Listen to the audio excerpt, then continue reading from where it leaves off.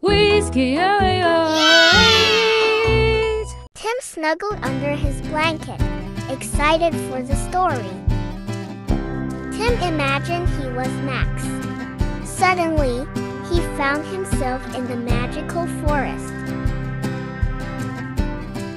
The trees were tall, and their leaves glowed in the dark. Max walked down a path made of soft moss. Hello, Max, the fairy said. He heard a rustling noise and saw a tiny fairy with sparkling wings. I'm Luna. Would you like to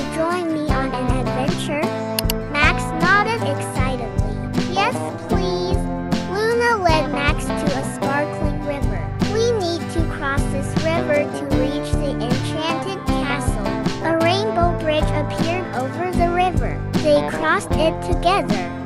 On the other side, they saw a big, friendly dragon named Draco. Hi, Max and Luna.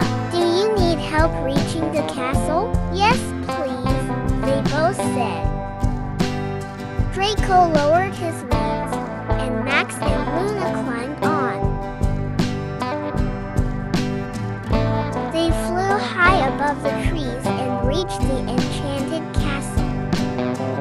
sparkled like diamonds. Inside the castle, they met a wise old owl named Oliver.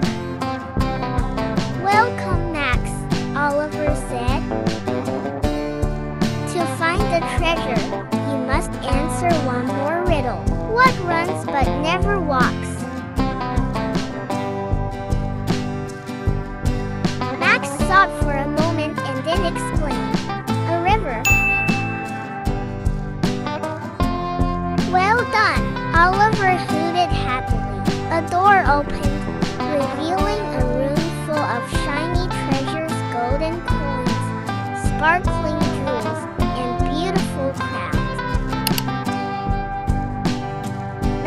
picked up a shiny coin and said, This will remind me of my adventure.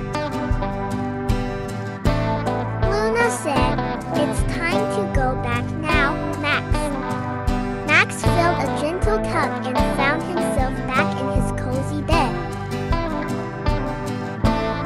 He opened his eyes and saw his mom smiling at him. Did you enjoy the story? She asked.